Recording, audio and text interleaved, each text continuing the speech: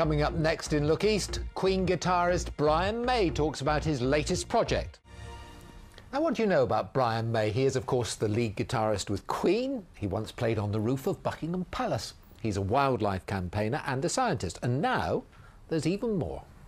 Yes, it turns out that he's an expert in stereoscopic photography. It's an original method of 3D. His latest project is a short film called One Night in Hell, based on a set of French stereo cards from the 1800s. It's being screened tonight at the Cambridge Film Festival. We'll be hearing from Brian in a moment, but let's just explain what the film's all about.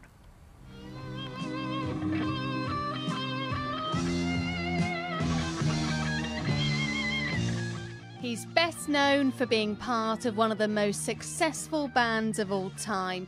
But did you know Dr. Brian May also has a passion for stereoscopic photography, an early form of 3D imaging popular in Victorian times? The stereoscope fits over, and immediately you have your 3D view. Book, which he co authored, has now been turned into 3D animation. Move it.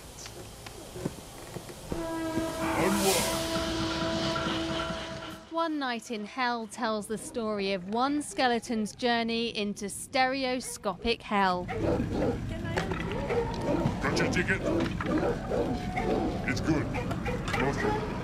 Although fans of Brian May perhaps won't be familiar with this style of film, they haven't been forgotten.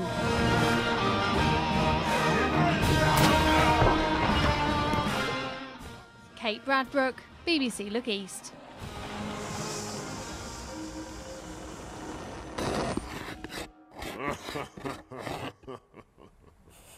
Well, Brian May and his fellow producer Denis Pellerin spoke to me earlier from the Cambridge Film Festival. Brian told me how he'd first become interested in stereoscopes.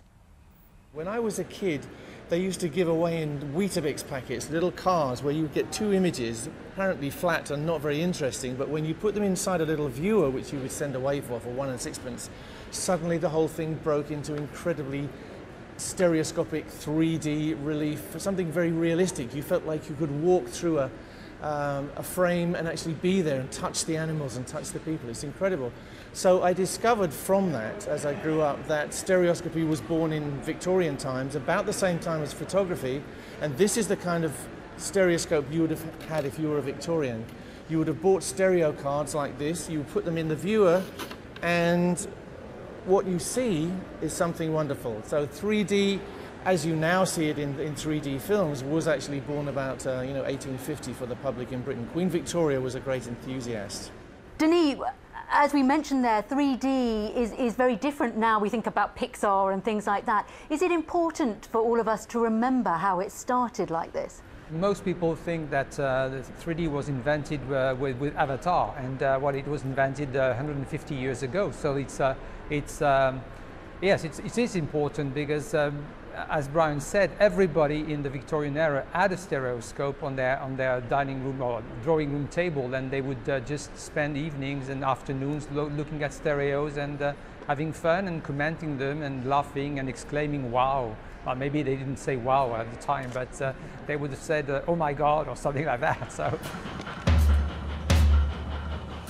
If you actually can get a, a Victorian viewer you'd be amazed by the experience. So I had to make one because you can't buy them these days. So this is my invention. This is the the 21st century ver version of the, the Brewster stereoscope. And you can put your iPhone in it or whatever, and you can see 3D pictures in this uh, contraption. And the film that you've made, they seem quite sinister, the, these skeletons, but can you just give us a bit of a kind of what is going on here? Well, actually, they, they, are, they are sinister when, when, you, when you first look at them, but then when you examine the, the pictures closely, you, you realize that there's a lot of uh, funny thing going on uh, in the background, and, uh, and they are most of, most, most of them are social satires or political satires, and uh, they, they are just a way of uh, showing that Paris was hell. Uh, hell is Paris, and Paris was hell at the time. And Brian, I mean, we're used to hearing um, you play, obviously. We know that you are passionate about animal welfare. We know that you are a doctor of astronomy. But how do you fit in all these things, like, like this passion as well? I don't sleep. I have to ask my wife. yeah, there's too many passions, I guess, but in, in some crazy way in my mind, they all make sense. They all come together in some way. I was able to make some music for our little uh, Diableries film, and uh, I was able to fuse Tchaikovsky's 1812 Overture with some We Will Rock You and some guitar playing. So, in, in a crazy way, it does all kind of link up. And I heard that you also used to, when you were touring with Queen, go and, and search for stereoscopic plates wherever you were in the world. Absolutely, yes. It's a hobby you can kind of pursue any place. I also always carried a stereoscopic camera with me, a little 3D realist viewer. So I have lots of pictures of Queen in the day in 3D. I'm very geeky about these things. You know, I just love it. To me, it's such a thrill to see things in, in solid relief. It's a kind of magic. It's a kind of magic, he says.